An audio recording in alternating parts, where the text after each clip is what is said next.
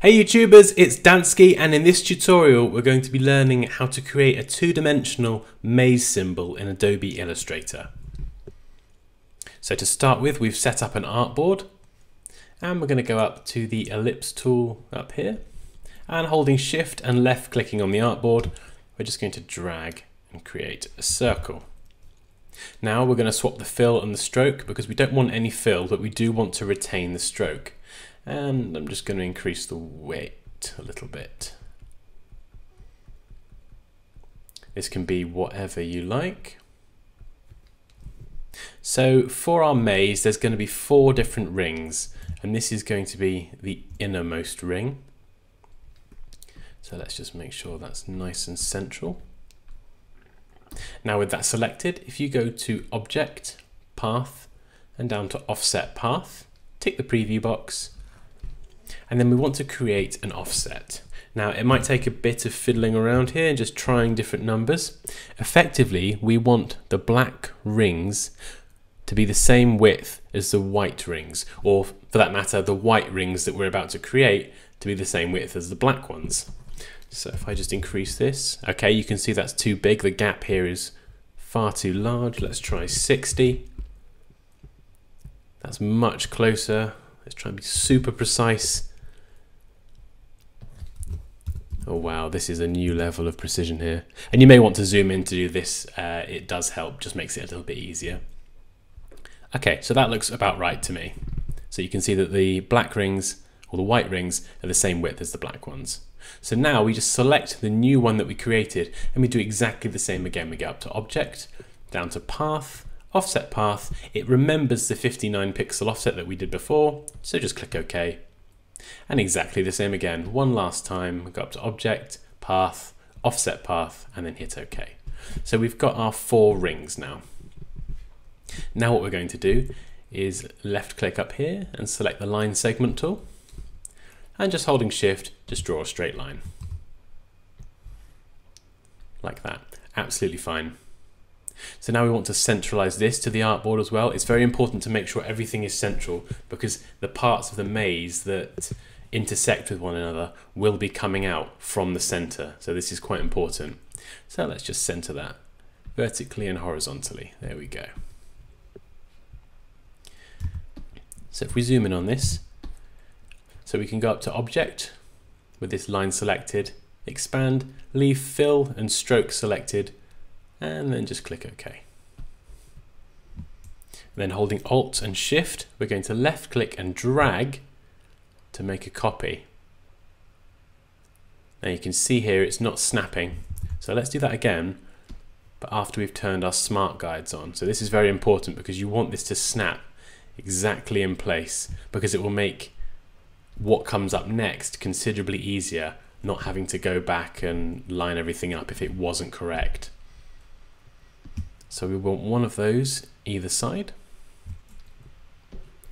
And these white ones, for now, let's just pick any color. The important thing is that we select a color and we make sure global is ticked because we're going to want to change that color at the end without having to click on each individual instance of red and manually change it. So it's very important you tick that global box.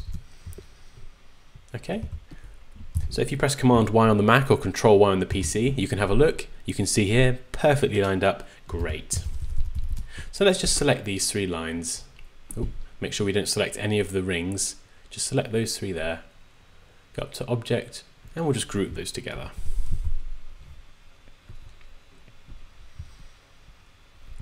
We can select the rings now.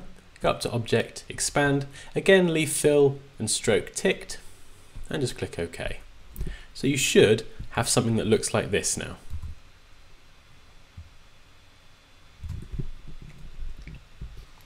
Okay, so now we're going to select the three lines in the middle, go up to edit and select copy, and then paste in place. And we're just going to keep pasting in place. So it's just pasting them one on top of the other. And we're going to need a few of these because these are going to be what we use to create our intersects, the actual parts of the maze themselves. So now you'll see that you should be able to drag off and you've got lots and lots of these underneath. So let's create our first one. we're going to left click and hold shift and we're going to drag this to the right. And then you can use the anchor points here in the selection tool just to drag that in place.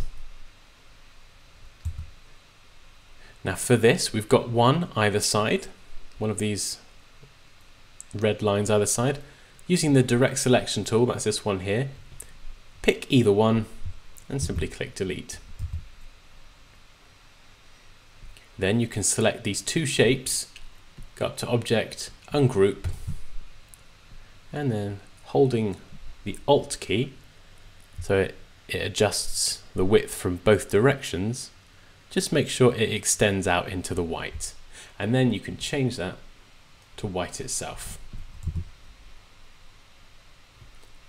And then you can select it again if you like, and you can drag it in. So there we go, we've created part of our maze already. So that was a, a, horizontal one. Let's try a vertical one. So we'll select another one of these.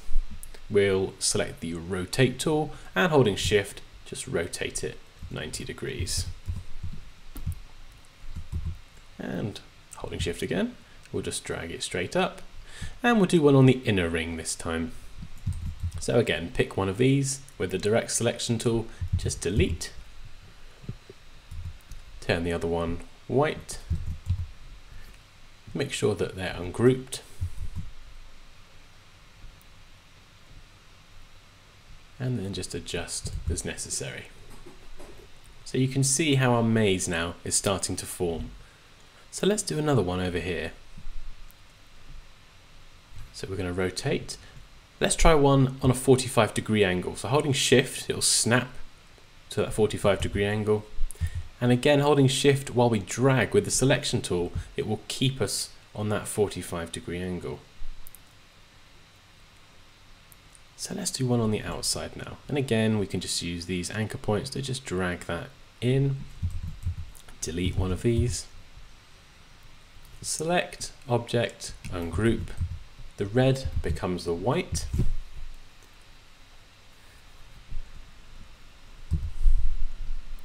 And we can just drag that out. And there we go. We've got our entry point into the maze.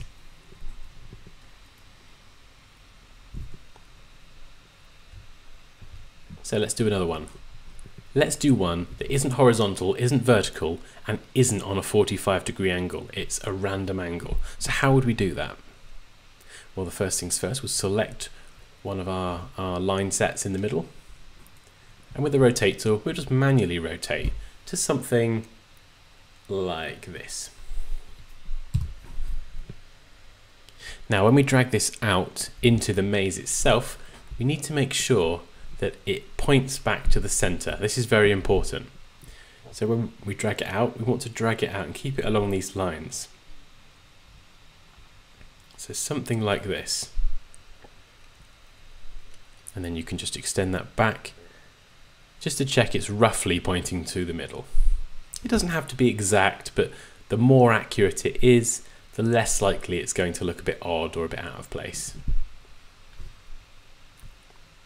So again, we'll delete one of these and just ungroup these two. The red one becomes white.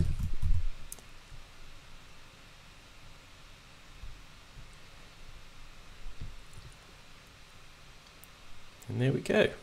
We can see our maze starting to take shape.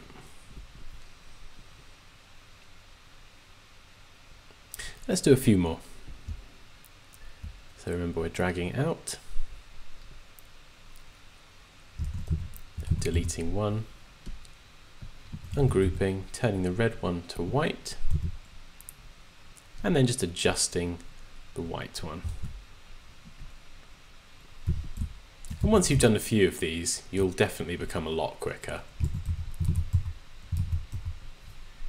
Object, ungroup, turn the red to white, and then just adjust. And I think we'll just do one more. We'll do another another odd angle. So we'll just remember we're just dragging out and trying to sort of keep it pointing as much to the middle as we can.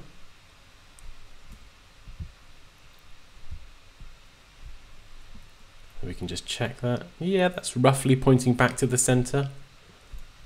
We're going to delete one of the red ones, ungroup the remaining two, and then we'll just turn this red one to white, and then we just adjust.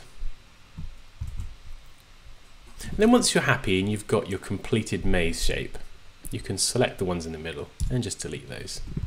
And if you press Command Y on the Mac or Control Y on the PC, you should have something that looks vaguely like this, albeit your own composition. It may not look exactly the same as mine, but we should have all these all these rectangles positioned around our maze. maze, maze, maze.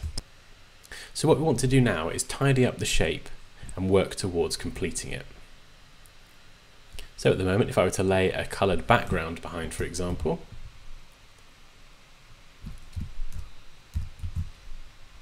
you'll see that if we wanted to use this maze in a piece of artwork or a composition, we've got these bit, these white bits here. So that won't do. So actually, if we just add this background here, we'll just fill the artboard there. Make sure it's set to the back layer, so object, arrange, send to back, and then object and lock. We'll lock that. So this will, this will make it a lot easier when we're finishing up our composition to see if everything is correct. Okay, so what we want to do now is select the magic wand tool and we'll select every instance of black. We're going to go up to the Pathfinder palette on the right and then select Unite. That's the top left one. And that should bring all of these shapes together. So if I show you the effect that has in preview mode, you can see now that all the black rectangles join up with the rest of the maze. So now we're left with just the white ones. So we can select all of these white ones, holding shift to select multiple objects. And we're going to go up to object, arrange, and we're going to bring them all to the front. This is very important. Then we're going to select the unite option in the Pathfinder palette and then go up to object, and compound path and then select make. So that turns all these individual shapes effectively into one path, which is important because what we're going to do next is select everything. And when I say everything, we should have two parts to this composition. We should have the black maze and the white circles.